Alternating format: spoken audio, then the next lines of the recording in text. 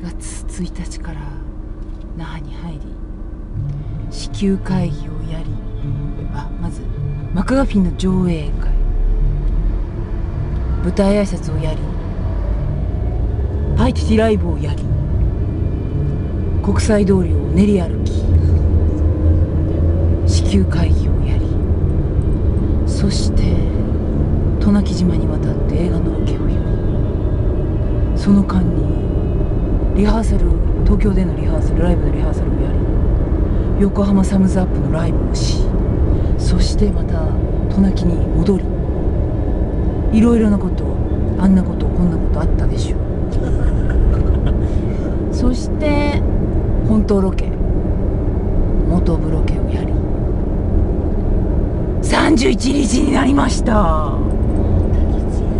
1ヶ月那覇東京行ったり来たり乗ってない乗り物は水牛ぐらいですね。あ乗らなかった。乗らなかったですね。乗らなかったですね。乗ってない乗り物は水球ぐらい。船も飛行機も車も自転車もちっちゃいボートも一応浮き輪も乗りました。そんなこんなで今、えー沖縄自動車道に乗って帰ろうとしております。沖縄